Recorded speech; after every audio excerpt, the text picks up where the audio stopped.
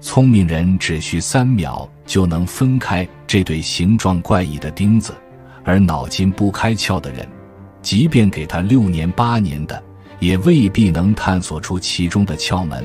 传闻这是古时候用来开悟孩童智力的意志烧脑拓扑谜题，那要怎么分开它们了？按照大多数人的正常逻辑来解，往往会本能的尝试在钉子的缝隙之间硬拉硬拽，在缝隙的各个位置不断用力抽拉。可是，不管是从左边钉子或右边钉子的间隙之间抽拉，哪怕您力大无穷。因为钉子之间的间隙宽度刚好比钉子直径小那么一点点，这就使得两个钉子用蛮力根本是无法解开的。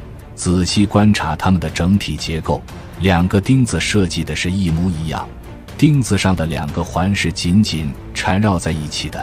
看似很简单的结构，实则玩起来没那么容易分开的。这个时候，大多数孩子都会因为遇到困难而放弃。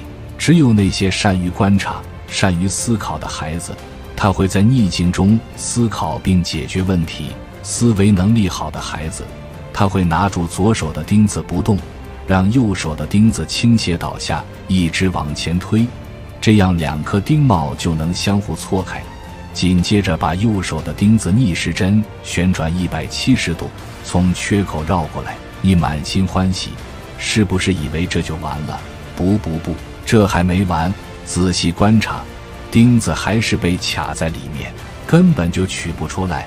其实它是非常考验我们的耐心的。多观察，多思考，正确的方法我来演示一遍。此时，我们再让右手的钉子倾斜倒下来，再次围绕左手钉子逆时针转动一百七十度。你以为这样就取出来了？不不不，不要高兴得太早了，尝试一下。还是被卡在里面了，那要怎么办了？生活工作中，往往成功的关键就是谁比谁更能坚持下去。多思考一下，到这里了，我们只需把右手的钉子一直逆时针旋转，直到两个钉子尖尖汇合，这样两个钉子就成功分开了。学霸和学渣最大的区别，并不在于智商，而是思维认知上的区别。看问题角度不同，经研究发现，那些经常玩益智玩具的孩子，要比同龄孩子更善于思考和解决问题。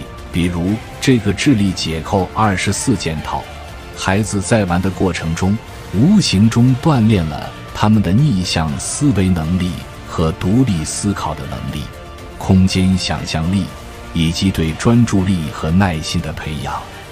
同款智力解扣。在视频左下角购买。